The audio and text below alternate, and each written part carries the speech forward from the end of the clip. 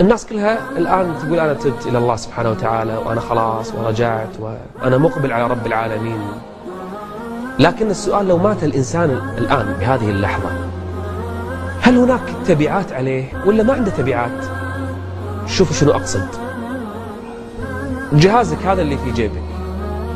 النقال اللي عندك. هذا الجهاز الحين بس اترك البقية. هل فيه شيء مما حرم الله؟ في صورة؟ في إيميل الله ما يرضى فيه.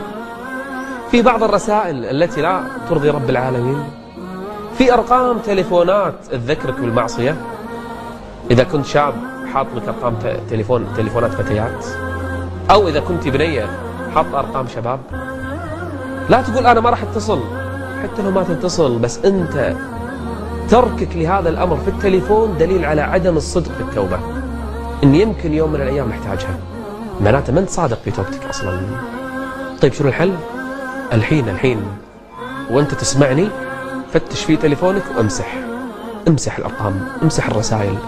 الإيميل كله ألغيه ألغي هذا الحساب اللي حاطه في الفيسبوك اللي للأسف حاط فيه بعض الأغاني أو بعض الأمور الجنسية أو حاط بعض الأشياء الخليعة.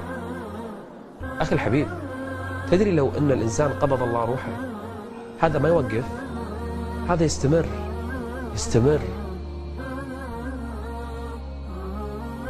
واتقوا يوما ترجعون فيه إلى الله. واتقوا يوما ترجعون فيه إلى الله ثم توفى كل نفس ما كسبت.